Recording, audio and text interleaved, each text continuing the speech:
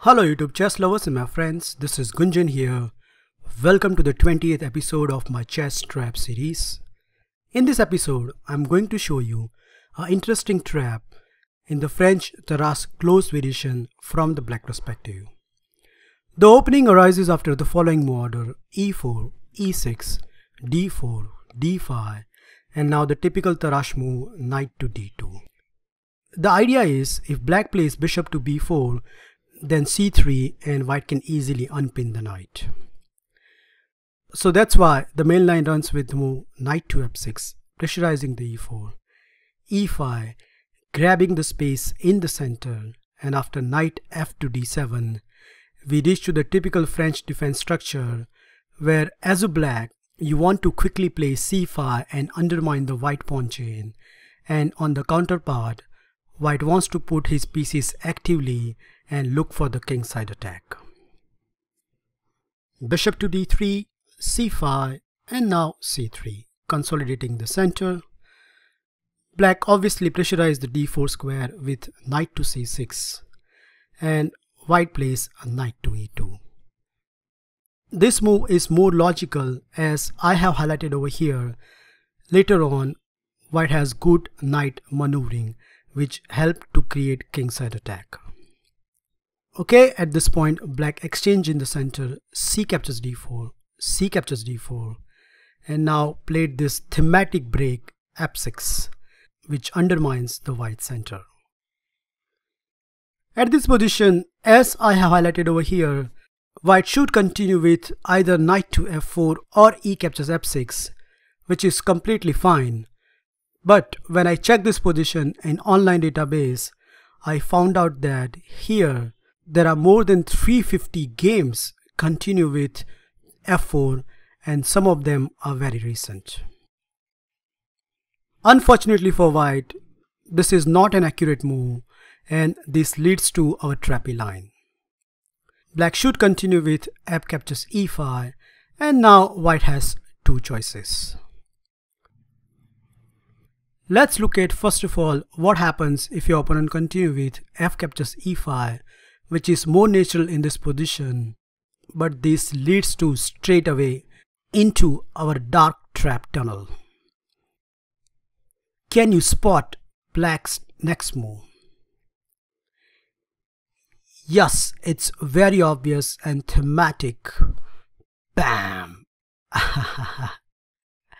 so just within 10th move of the game, black wins the pawn and Okay, black has to know some accurate sequence after this, but overall, later on, this extra pawn do counts. White has tried two options here, but none of them work very well. The first response, we need to know what happens if white take this piece and captures d4. Well, after that, the queen check, and obviously after g3, black is going to regain the piece, but white can argue that he has some initiative with knight to f3.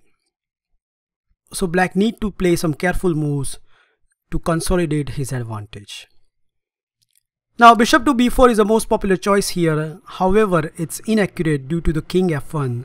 So my recommendation is here black should continue with queen to b6 and after some accurate response such as queen to c2 attacking on h7, g6 defending king to f1 so king is heading towards to g2 square which is very safe.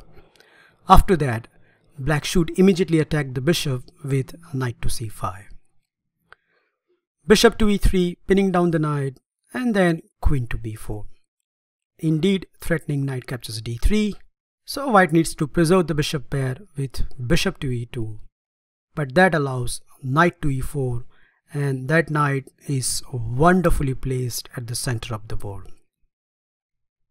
Fortunately, I reached this position against a national master in a 5 minute game and I think this game is a model demonstration how black can continue from here. White continue with king to g2, I continue with bishop to d7 and now my opponent played rook h to c1. Okay, as I have seen no threats, I continue with bishop to g7 and my opponent played a very tricky move, queen to b3. Well, I was more than happy to exchange the queen because after queen takes, pawn takes. Okay, I have some pressures, but I think I can easily neutralize as after a6, my opponent revealed his nasty idea that is rook to c7. Attacking on b7. It is just a matter of consolidation, so I played rook to b8 and my opponent double up on the c file. So at first sight it looks somewhat threatening, but after black's next reply, that is king to e7, I think black is a healthy pawn up and there is hardly any compensation for the white. He played bishop to d3, I played rook h to c8. And here we both were in the time trouble and I think he miscalculated because what he played is rook captures, rook captures, rook captures, bishop captures, bishop captures e4, pawn captures e4 and now knight to g5 which at first sight looks so impressive because not only it's regained the pawn but it attacked the two spots. But after the following sequence that is bishop captures e5 knight captures h7 bishop captures b2 knight to g5 so white is trying to gain his pawn back but in that process he forgot that after the move b5 knight captures e4 and bishop to b7 it's a game over time because after king to f3 and a5 my opponent simply resigned because not only black is a clear pawn up but there's a monster pawn running on the a file which is not easy to stop.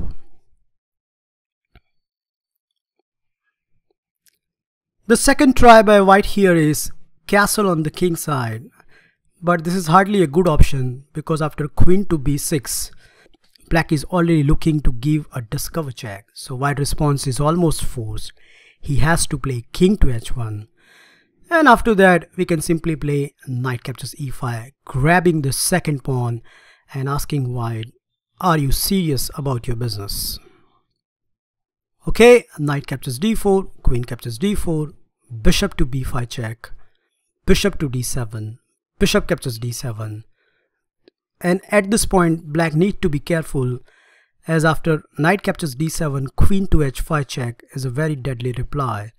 So black has to capture with the king and after knight to f3 knight captures f3 queen captures f3 and bishop to e7 yes of course white has managed to keep black king in the center but two pawn I don't think so that is enough compensation black can easily regroup his position and later on this extra two center pawns are the winning asset for the black.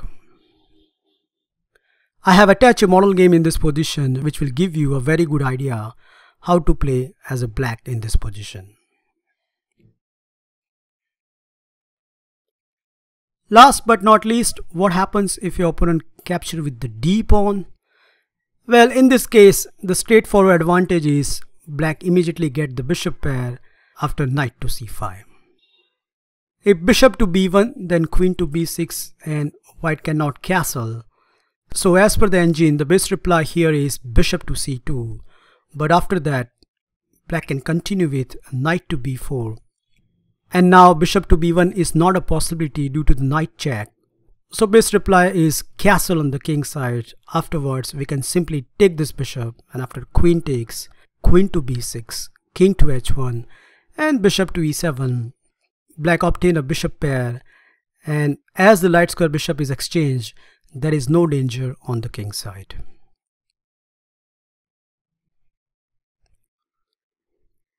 That's it guys. I hope you enjoy and learn this nasty trap in the Tarrasch with knight captures d4. And after this, however white plays, it's only black who is in the driver's seat and with some accurate play, you can easily convert into the full point. Thank you for watching this video. Feel free to like, subscribe and comment on my video and I'll meet you in my next episode very soon. Bye and take care.